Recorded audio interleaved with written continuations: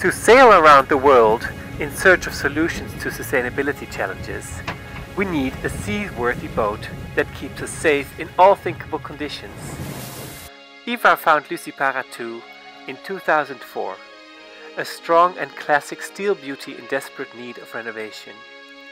It was love at first sight, and the journey to get her back into shape began.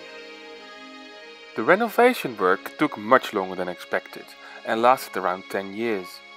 Step by step, and with help of family, friends and professionals, everything except the hull and masts were renewed. But the result is fully worth it, she is ready to sail for, hopefully, another 50 years.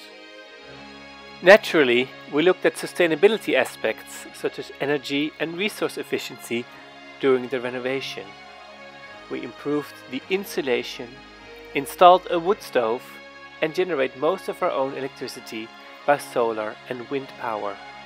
We recently took Lucy on shore for a fresh layer of paint and some other maintenance. She is now fully fit for purpose. We look forward to the sustainable solutions and beautiful destinations to which she'll bring us.